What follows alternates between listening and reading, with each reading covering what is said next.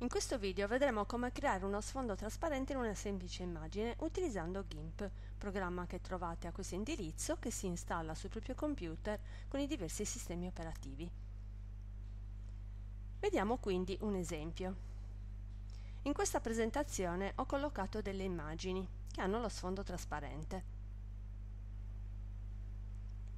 Proviamo a caricarne una.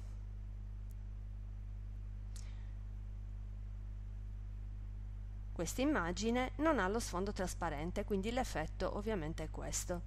Per quanto io la possa ridimensionare, è un effetto che non ci piace. Apriamo quindi il nostro programma e carichiamo l'immagine.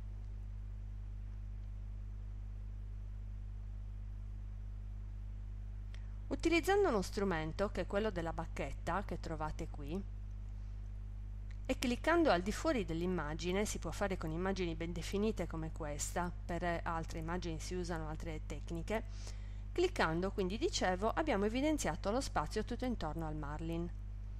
Vado però adesso ancora con il comando di inverti per far sì che sia evidenziato il marlin stesso. A questo punto lo copio e ho necessità di incollarlo ovviamente su un'immagine con sfondo trasparente Creo quindi una nuova immagine, vado nelle opzioni avanzate e seleziono sfondo trasparente. Su questo sfondo incollo la mia immagine del marlin.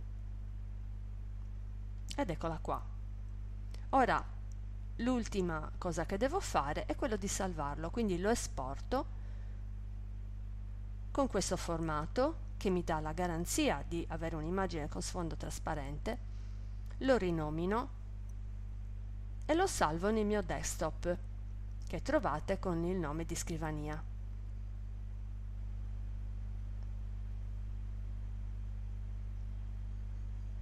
Torno quindi nella mia presentazione. Elimino l'immagine precedente e carico la nuova.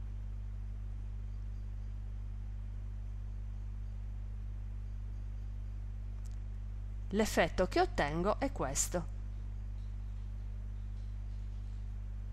E con questo è tutto. Arrivederci.